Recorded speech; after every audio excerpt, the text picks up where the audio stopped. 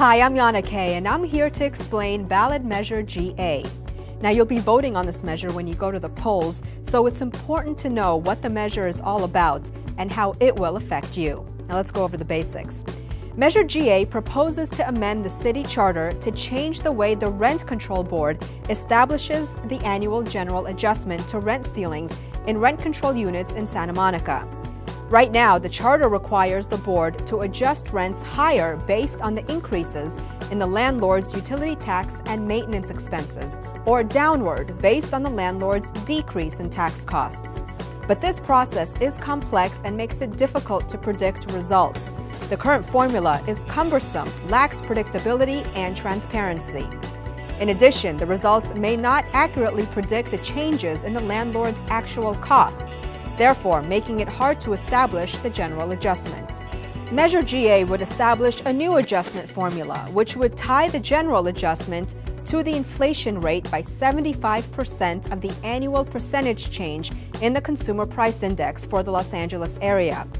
However, this proposal would be subject to two limitations.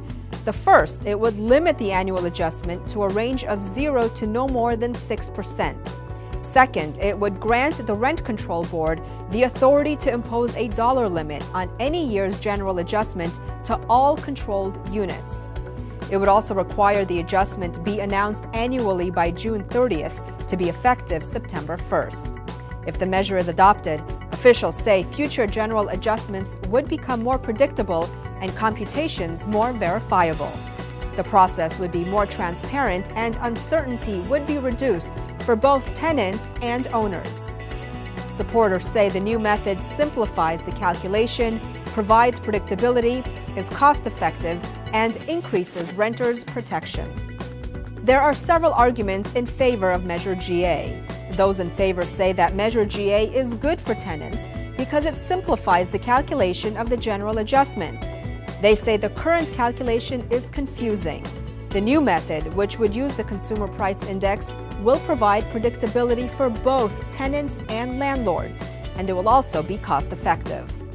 Supporters also say the measure will increase protections for renters by limiting the maximum possible adjustment for future rent increases. The proponents for Measure GA include Pam O'Connor, Santa Monica City Council member, Jennifer Kennedy, Santa Monica Planning Commissioner, Dennis Zane, former mayor and Santa Monica for Renters' Rights co-founder, Patricia Hoffman, Santa Monica for Renters' Rights co-chair, and William Winslow, Santa Monica Rent Control Board chair. There are no arguments against the measure.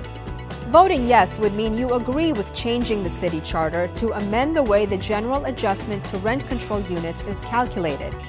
Voting no would mean you don't want to change the city charter to amend the way the general adjustment is calculated. For more information, visit www.smgov.net slash rent control.